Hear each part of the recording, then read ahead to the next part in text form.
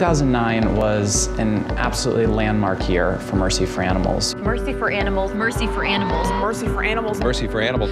It's a story that's sending shockwaves across the state. Video showing chickens allegedly being abused on this egg farm in Turner. Showing what the state's veterinarian today called deplorable and extremely disturbing. Capturing graphic examples of animal abuse and improper conditions, prompting state investigators to go to the farm today with a search warrant. They spent eight hours searching the facility, taking photographs, confiscating animals. Almost immediately, some of the largest grocery chains in the country responded to our investigation by cutting their supplier relationship with this company and urging for stricter and stronger standards to protect these animals. Egg production is perhaps the cruelest industry on the planet, and that abuse starts on day one. Today, a practices at an Iowa hatchery took center stage. This is not isolated abuse and runs rampant within the egg industry. This investigation was really the shot heard around the world, shining a bright international spotlight on this very dark, very violent side to the egg industry. As a result of the investigation, Mercy for Animals has also sent letters to 50 of the nation's largest grocery chains asking them to put warning labels on egg cartons. Male chicks are ground up alive by the egg industry. It would be a good idea for companies to put warning labels on products so people know what they're buying and how the products they're buying are made. There are over a thousand news stories around the world that brought to the forefront this violent side to the egg industry. The investigation video became the second most viral video on the internet the day after it was released and started a very rich and public dialogue and debate about our obligation to farm animals. Our investigation department grabbed headlines later in the year with an investigation into one of the largest pig breeding facilities in the country. This investigation sent shockwaves through the pork industry and through households across the country when Fox National News broadcast this footage. We're going to show you some disturbing video of, of animal cruelty at a pig farm in Pennsylvania. We have and really revealed to many consumers for the first time the horrible cruelty and the life of neglect and of deprivation that pigs are subjected to. Of course, the most powerful thing that any consumer can do is to cut pork from their diet. Mercy for Animals billboard campaigns are literally taking vegetarianism to new heights. Some new billboards in the metro area are causing Denvers to do a double take. The provocative billboards are spread all across the metro area along highways and busy streets.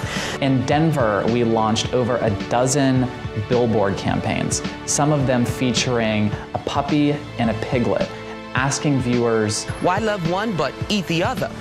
Another billboard pictures chickens inside a wire cage and asks the question, how much cruelty can you swallow? It's to get people to make the connection between their pets and foods. We took our bus ad campaigns to the largest city in the country, New York City. And we started a conversation about our treatment and obligation to farm animals and in the process inspired countless people to transition towards a healthy and compassionate vegetarian diet. In 2009, Mercy for Animals took its message to an international level, launching an ad campaign in Toronto urging millions of riders to boycott animal abuse and to ditch meat, dairy, and egg products from their diets. This year, we released Fowl Play, which is a documentary that takes viewers behind the scenes into some of the largest egg factory farms across the country. The incredible edible egg. Fowl play is a call to action. It's a wake-up call for Americans. And this film has been seen at over a dozen film festivals from coast to coast. Any viewer that's seen the film walks away with an incredible opportunity for personal change to help become part of the solution and to save these animals. This year, Mercy for Animals teamed up with Compassion Over Killing and the Animal Protection and Rescue League to launch a campaign to get Boca, the meatless meal provider, to remove eggs from their products. Within just a few weeks of launching this campaign, Boca responded and said that they would be removing all eggs from all of their products by the end of 2009.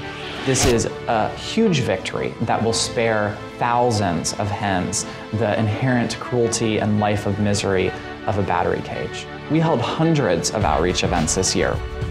Feed-ins are an incredible way to show people that a compassionate diet can also be a delicious diet. At our feed-in events, not only do we distribute free samples of veggie burgers and mock chicken, but we also provide information and resources to people so that they can start making that transition to a plant-based diet. This year, our team of leafleters distributed hundreds of thousands of educational brochures on factory farming and vegetarianism. MFA activists also staged eye-catching and headline-grabbing protests. We completely revamped the mercyforanimals.org website. We also launched mfablog.org. The incredible amount of impact that Mercy for Animals had in 2009 is a direct result of the volunteers, the activists, our supporters, and our donors, and their commitment to protecting farmed animals from abuse and building a kinder and more compassionate world for everyone.